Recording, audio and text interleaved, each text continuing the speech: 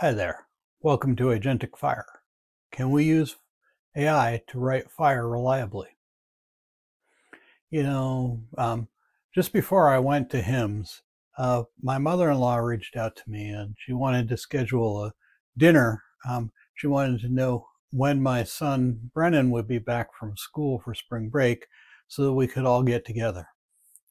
Uh, I didn't know um, but I wanted to know was his girlfriend invited, and she said, of course.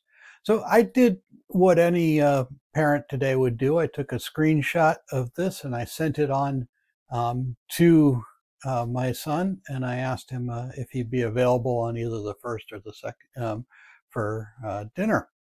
Um, and he sent back to me uh, that he's not a brand of cereal. You know, uh, I had mistyped his name here, brand you know, I, this is a minor mistake. I, I, suspect my son will forgive me for this. And um, actually, we did have a very good dinner before I headed off to HIMSS.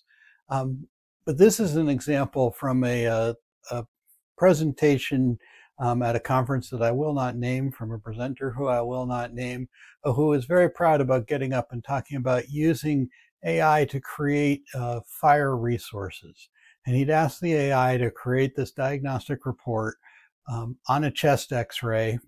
Uh, and it had done a great job of coming up with a code. And the code there um, has display name of chest x-ray, right? That's great. Um, but uh, when you look at this code that it actually chose, it chose the code of Rubella, right? And this is a common thing that, uh, that we see in AI, which we call hallucinations, right? Um, the AI doesn't know actually what the context is. It's just doing the best job it can at coming up with something that's a SNOMED code. And It happens to be a valid SNOMED code.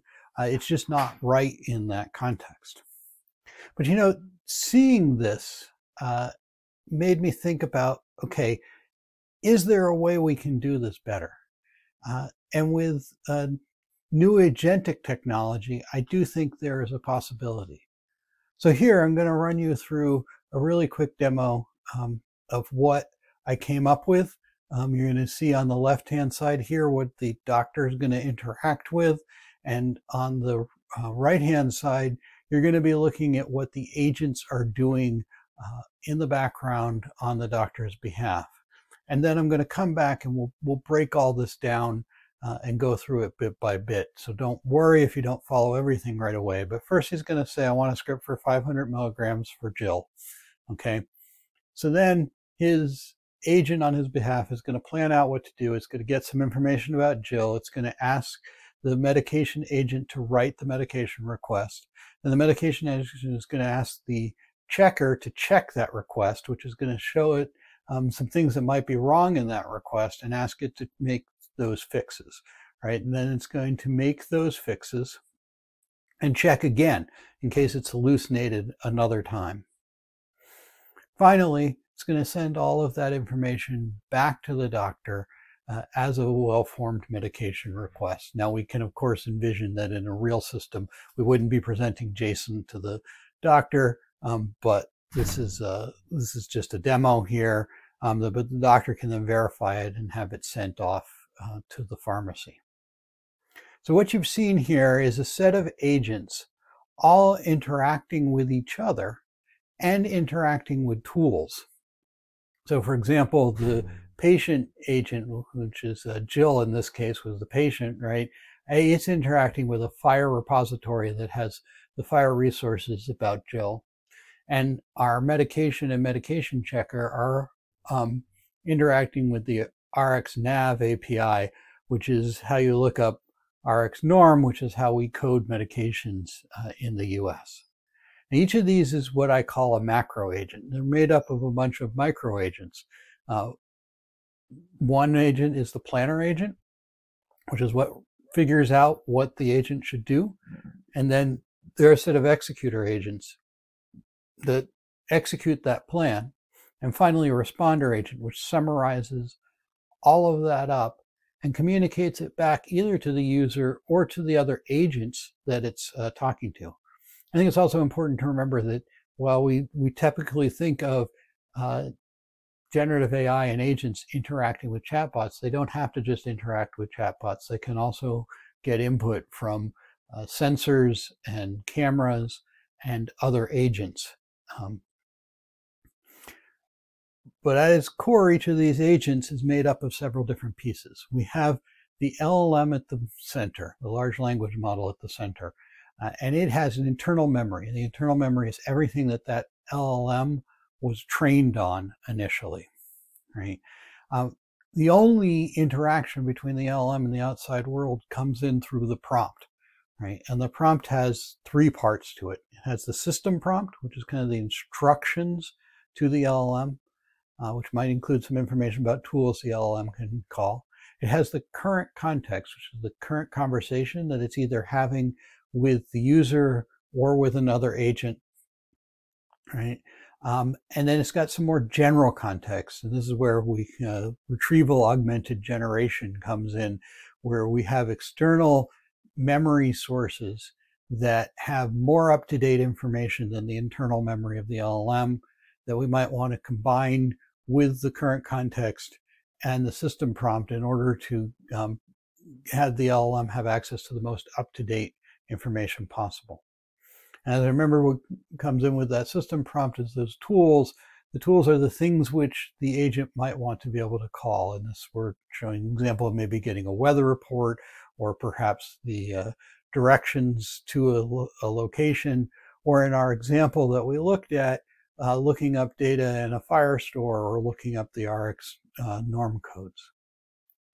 All right, so now that we understand kind of the technology that's going on underneath here, let's dive a little bit deeper and, and take it a little bit slower and look at what's actually happening here. Okay, so first we are going to ask the agent to write this script. So um, what we've seen here is first that that practitioner agent made a plan of what it needed to do. It needed to get um, Jill's full name and ID, and it did that by reaching out to the patient agent.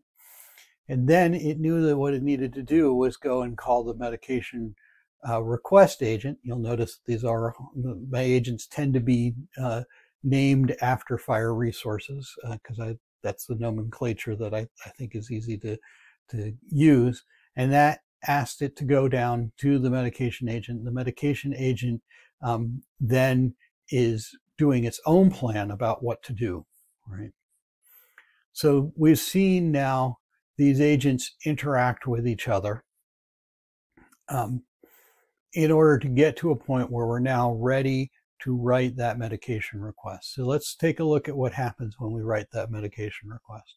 So the it, first thing it does is it goes and it looks up the RX norm code, and then it writes a medication request. Um, that seems all fine and good, right?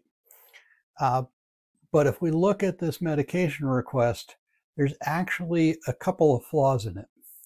Uh, one is that this is the RX norm code that it came up with, and it did come up with a valid RX norm code. It actually got close in that uh, that is an RX norm code for metformin, but it is an RX code for metformin, not metformin 500 milligram oral tablet, which is what the display is, right? So that doesn't match. Also, if we're looking closely, that practitioner ID, it made up that practitioner ID. That's a complete hallucination. It knew that it needed to add a practitioner ID, but it didn't know what the right one was. So now what it's going to do is it's going to actually send it send this JSON medication request over to the medication checker agent. Uh, and the medication checker agent is going to check that RX norm code. It's going to check the various IDs and make sure that they make sense. When it reaches out, for example, to the practitioner ID, the practitioner is going to say that that ID, I don't have no idea what that is. And so what's going to come back with is, no, the practitioner ID doesn't exist. Um, and it's also going to say that the RX norm code does not match the display value. Okay. And so that's going to tell the medication agent that the last plan failed and please try again. So it's going to give it another try.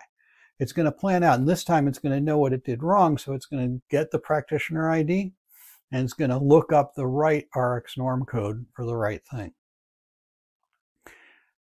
So that happens. And we can now see that we got the right RX norm code for metformin 500 milligram tablet. Now it is going to send that back to the checker agent uh, because we want to make sure that it didn't hallucinate something else while it was updating that uh, medication request. Now, um, what I found is generally once, twice back and forth, it actually does pretty well. Um, what I what it's set up to do is try uh, five times back and forth, um, and then if it gets it, it's still wrong, it's going to uh, error out. Right. Um, but now we can see that we get a well-formed medication request with, in fact, both the right uh, code for the metformin and the right practitioner ID uh, for um, the practitioner who's uh, requesting this medication. Um, we could also check many other elements of this. So what you've now seen is a set of agents using LLMs, working with each other uh, to generate a script on behalf of the doctor. And as I said, you know, we could we could present this script in a real system. We wouldn't present it necessarily as just JSON blob. Um, we would present it in a much nicer UI. Um, this is here for demonstration purposes so that you can see that it's actually writing the proper JSON underneath. So uh, one other element that I just wanted to let you know about, you know, obviously we're creating this FHIR resource. There's nothing in this FHIR resource right now uh, that gives you any indication that it came from a, an agent or an LLM, right? Um, I think that that's a potential uh, real problem for the future. I mean, certainly the practitioner is verifying it, so we still have a human in the loop, but we really should have some way of knowing. And uh, HL7 has just launched a new project called AI Transparency on FHIR, uh, which uh, was just approved right before HIMSS started. So we're just getting started with that project. I'm a code lead along with uh, with May from uh, MITRE, um, and we have a we're working under the auspices of the EHR working group, um, but we also have uh, several co-sponsors, including security and CQI and um, uh, CDS, um, and then a number of interested parties. And we'd love for you to reach out and, uh, and be involved. Uh, that's a link to the PSS and a link to our Confluence page. So thank you very much. Uh, my name is Sam Schifman. I'm actually the innovation architect at a company called Vantiq. Um, all the demos that I showed you today were actually um, developed and deployed on the Vantiq platform, which is a platform for creating and operating intelligent solutions at scale uh, that is amazingly um, good at doing agentic uh, workflows. Um, some of you may also know me from HealthForge Consulting uh, LLC, and so that's up there so that you can uh, you can reach out to me either way. Uh, love to hear more um, and continue the conversation. And if you have any questions, don't hesitate to reach out. Thank you. Have a good rest of your day.